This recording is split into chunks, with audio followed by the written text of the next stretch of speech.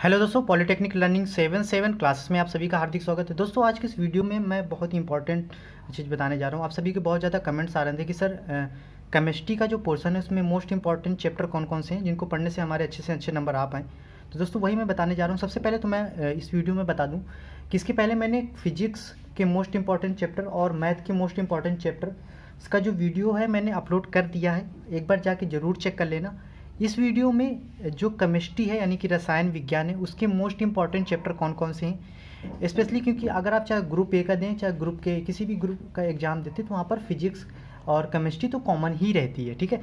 तो इस वजह से आपको फिजिक्स के सॉरी केमिस्ट्री के आपको या फिजिक्स के मोस्ट इंपॉर्टेंट चैप्टर पता होना ज़रूरी है।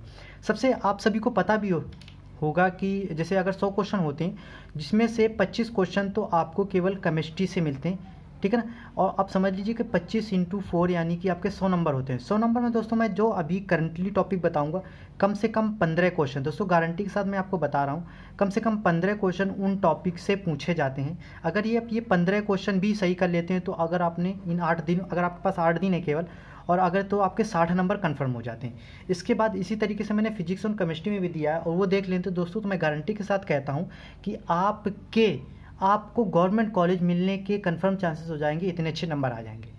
ठीक है? तो सबसे पहले केमिस्ट्री का जो होल सिलेबस है केमिस्ट्री में कौन कौन से चैप्टर हैं? पहले मैं वो आपको बता दूँ। तो देख लीजिए, पहला चैप्टर विज्ञान एवं रसायन, द्रव, रासायनिक संयोग के नियम, परमाणु संरचना रेडियो एक्टिविता नवकी ऊर्जा, संयोजकता एवं रासायनिक आबंध, रसायन की भाषा, रासायनिक अभिक्रिया, रासायनिक गणनाएँ, गैस, गैसीय नियम, वैद्युत रसायन अम्ल क्षारक एवं लवण, विलयन तत्वों का वर्गीकरण एवं गुण, धातु अधातु एवं धातु कर्म, जल एवं जल की कठोरता, प्रमुख गैसें, लवण, ईंधन, कार्बनिक यौगिक का वर्णीकरण नामकरण। फिर है आपका कार्बनिक यौगिक कार्बनिक यौगिक के तत्वों की पहचान, उनका मात्रात्मक अवकलन, औद्योगिक रसायन और विश्लेषणात्मक रसायन। ठीक है? ये तो सारे के सारे अब रहे। अब मैं जो इंपॉर्टेंट चैप्टर आपको बताऊँगा, उनमें से मैं स्पेसिफिक टॉपिक भी बता दूँगा। ऐसे नहीं चैप्टर में उसमें स्पेसिफिक टॉपिक कौन सा पढ़ना है, वो भी बताऊँगा।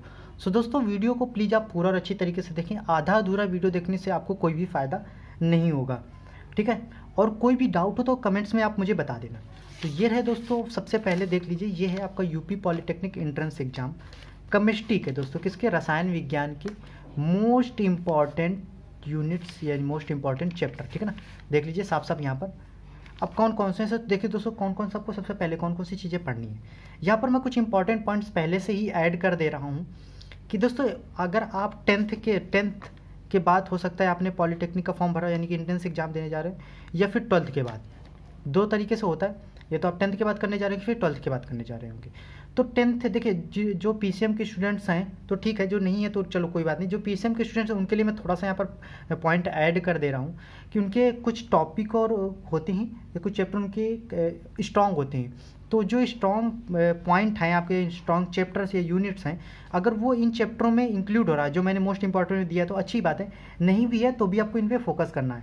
तो अगर आप लंबे दिनों से तैयारी कर रहे हैं, या फिर आपके पास बहुत कम टाइम बचा है, यानी कि अगर आपके पास आठ दिन या पंद्रह दिन भी बचा है तो भी आपको इनमें से कुछ किन टॉपिकों पर फोकस करना है, जिनके आपके अच्छे से अच्छे मार्क्स आ पाए।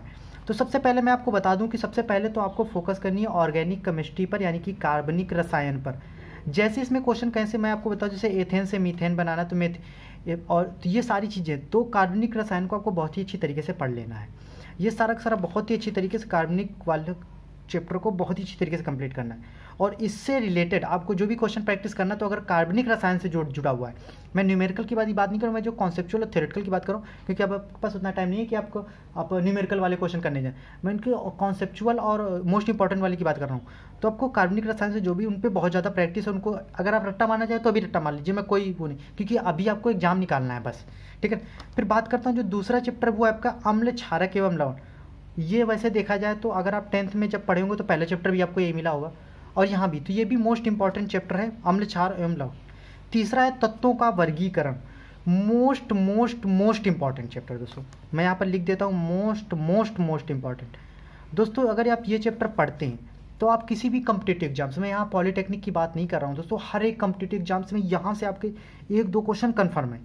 तत्वों के वर्गीकरण में कौन कौन से टॉपिक पढ़ने हैं? तो दोस्तों, कौन से, देखिए, क्या होता है कि लेफ़्ट टू राइट जब जाते हैं, जैसे ये आपकी पेरियोडिक टेबल है लेफ़्ट टू राइट जाने से आयनिक बंधुता बढ़ती है, घटती है इलेक्ट्रॉन बंधुता घटती है, बढ़ती है, ऊपर से नीचे आने पर इलेक्ट्रॉनिक आयनिक त्रिज्या इलेक्ट्रॉनिक जो भी त्रिज्या घटती है, बढ़ती है।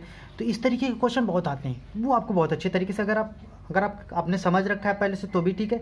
रट्टा मारने से किसी भी तरीके से आपको ये इस तरीके से याद करना है। उनके गुण क्या होते हैं? जैसे अगर ए, ए, जैसे एस ब्लॉक है ठीक है ना? तो एस पी डी एफ़ होता है तो एस ब्लॉक के तत्व तो कैसे होते हैं ठीक है ना? धातु अधातु कैसे होते हैं ये सारी चीज़ें नोबल गैसेस किस उसमें कॉलम में होती हैं तो ये आपको बहुत अच्छी तरीके से पढ़ना है। इसके बाद रही प्रमुख गैसेस आपने ऐसे टिलीन पढ़ा होगा कार्बनिक रसायन में N S three ammonia gas पढ़ा होगा तो उसकी जैसे उसमें आ जाता है कि सड़े अंडे जैसी गंध किससे आती है? किस गैस से आती है? तो प्रमुख जो गैसें हैं, उनका, उनके प्रयोग क्या क्या होते हैं? उनके उनके प्रयोग क्या होते हैं? उनका गुण कैसा होता है?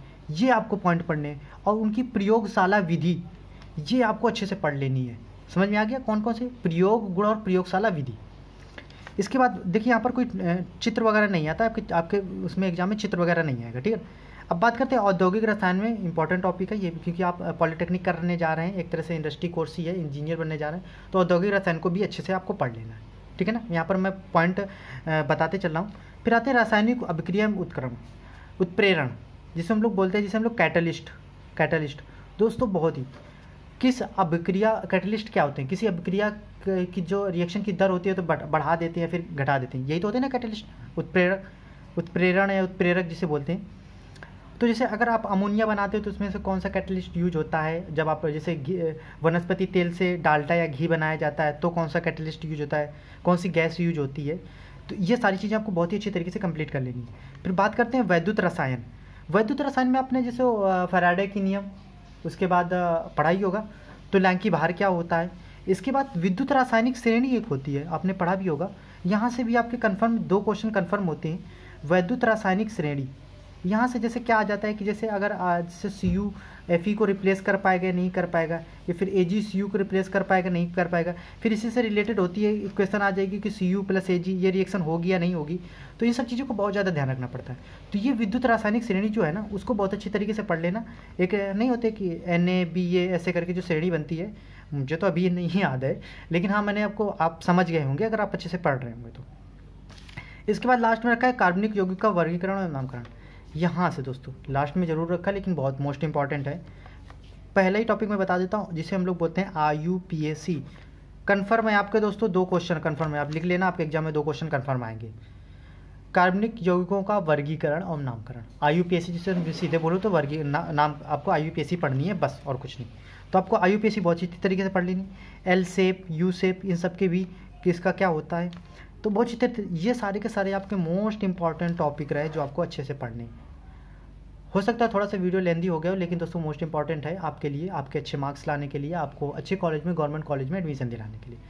अगर अभी भी आपके पास कोई डाउट है तो कमेंट सेक्शन में मुझे बता देना। इसी तरीके की इंपॉर्टेंट वीडियो देखने के लिए प्लीज़ इस चैनल को सब्सक्राइब कर लें और नोटिफिकेशन बिल को ज़रूर ऑन कर लें। यहाँ पर पॉलिटेक्निक से जुड़ी हर एक छोटी बड़ी जानकारी को बहुत ही अच्छी तरीके से इन्फॉर्मेशन थोड़ी देने में एक दो घंटे डिले हो सकती है, लेकिन आपको जो भी जानकारी मिलेगी, अच्छी मिलेगी। ठीक है ना? प्लीज़ दोस्तों, छोटा चैनल है, बस सपोर्ट करिए आप सभी लोग, जितने ज़्यादा सपोर्ट करेंगे, उतने ज़्यादा मैं वीडियोज़ आपको इन्फॉर्मेशन दे पाऊँगा, जो मेरे पास एक्सपीरियंस है। वीडियो देखने के लिए आपका बहुत बहुत धन्यवाद। अगर आपको वीडियो अच्छा लगा तो प्लीज़ दोस्तों वीडियो को ज़्यादा से ज़्यादा लाइक एंड शेयर करिए। अच्छा सा कमेंट्स करिए, कोई भी डाउट हो, आप मुझे इंस्टाग्राम टेलीग्राम पे भी आप मुझे मैसेज कर सकते हैं, कोई भी आपको डाउट है टेलीग्राम पे आप फ़ोटो खींचकर मुझे भेज सकते हैं। वीडियो देखने के लिए आपका बहुत बहुत धन्यवाद। थैंक यू दोस्तों। इसी तरह की इंपॉर्टेंट वीडियो आपको मिलती भी रहेंगी।